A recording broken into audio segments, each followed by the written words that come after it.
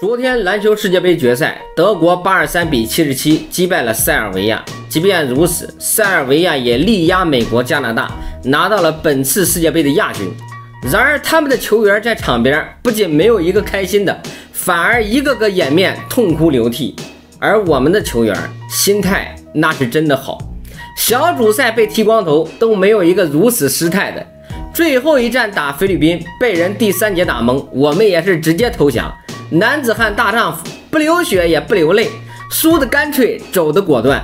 而塞尔维亚其实昨天的比赛也是第三节被打懵了，单节被德国赢了十二分，结果第四节他们依然没有放弃，还是一直跟德国拼到了最后，最终六分遗憾落败。看到塞尔维亚球员痛哭的那一刻，我恍然大明白，身体、体能、技战术能力，原来这些还不是我们最缺的。我们最缺的可能只是基本的荣誉感，甚至荣誉感都太高端了。我们要是有点基本的胜负欲，凭十四亿人选出来的顶尖天赋，也不可能输得那么惨。